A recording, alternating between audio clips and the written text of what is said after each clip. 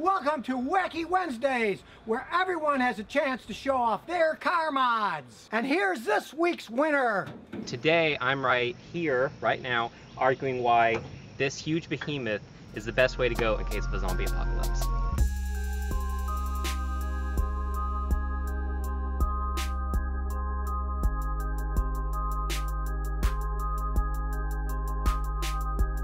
It was a product of the Kaiser Jeep Corporation back from the 60s all the way up until the early 80s when they produced these. They call them deuce and a halves because off-road they can carry 2.5 tons, hence the name deuce and a half. This particular one is a 1968 and they were used as troop carriers and equipment carriers to basically take things to the battlefield that they needed.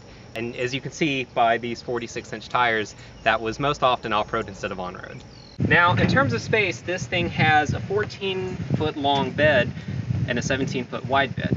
So essentially, any type of guns, any type of zombie repellents that you could possibly think of, this thing will carry. But let's say that you're pretty empathetic and you want to carry survivors. Well, as I mentioned earlier, this thing was used as a troop carrier. So it has fold down sides that about nine people can fit across and on the other side to carry about 18 people in the back. In Georgia, where I'm from, you can ride on roads legally in this thing. So the next time at Thanksgiving when your stepmom talks about her new Honda Odyssey with its eight passengers, you might want to show her this. Alright, but enough about the exterior, let's talk about the interior a little bit. So, firstly, you'll notice that this is a 50-year-old military truck. Uh, you're probably not gonna have a shortage of rattles, squeaks, or loud noises. But there are a couple of pretty cool things in here that most people's cars won't have. First thing is that there are pretty much no electronics that can go wrong in this. If there's ever a flood, if you ever hit something really hard, there's not going to be a lot of stuff that you have to worry about in terms of wires coming loose, your radio not working, or anything like that. Everything is really basic and there's a lot of metal around here. The two things in particular that's pretty cool are first off, there is actually an onboard air compressor built into this that assists with the brakes and with a lot of the other functions, including the windshield wipers, funnily enough. There's actually a port underneath the dash to plug in an air tool if you need to that runs off the onboard air compressor. Another cool thing about this interior that might be my favorite is the push button start. That's right, this 50 year old military truck has push button start, and I'll show you how it works. Essentially, there's a red button right down here, and conveniently enough it says start. You push fuel back to the engine because this latch makes sure that there's no fuel going to the engine. That's how you cut it off. This is the switch to turn on accessory power to the fuel pump and everything. And then after you do that, just push the button and start it right up.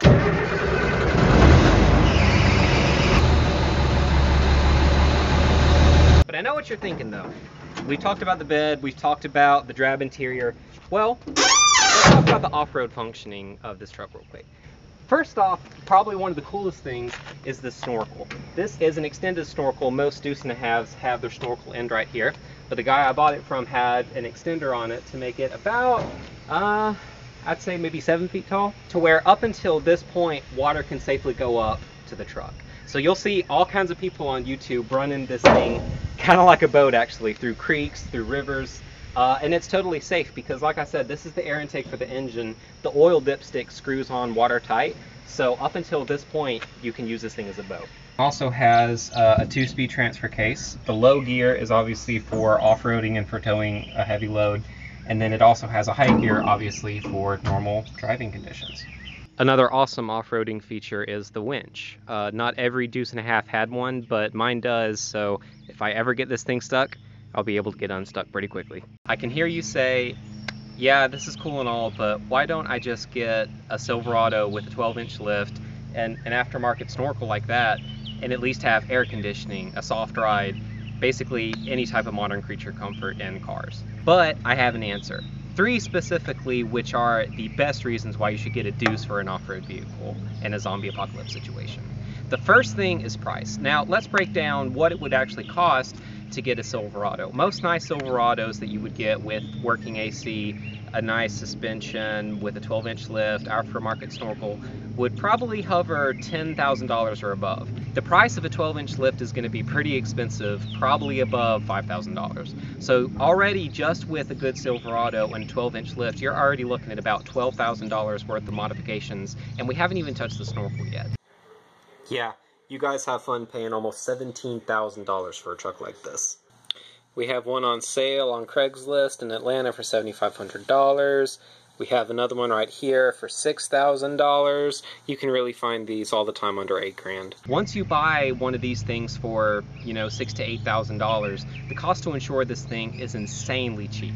I'm a 24 year old male and my driving record isn't as clean as it probably should be, but I can still insure this thing as a secondary vehicle with a restriction of 5,000 miles a year for $30 a month as an antique. You're probably not going to find that with a Silverado. I also have to mention one other cool thing about this, which is that it doesn't require any special license to drive.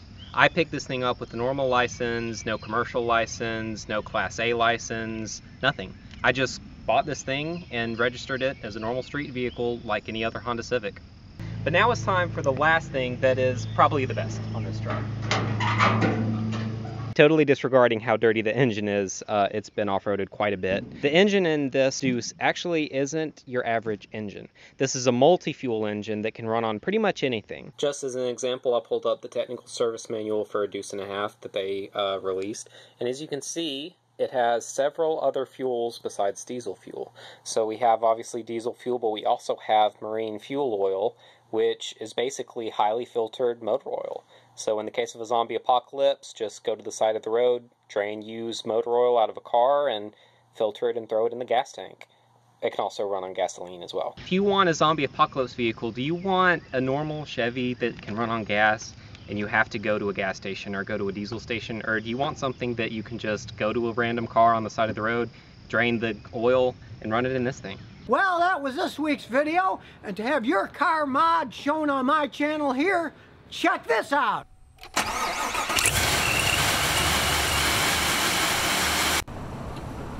So if you never want to miss another one of my new car repair videos, remember to ring that bell.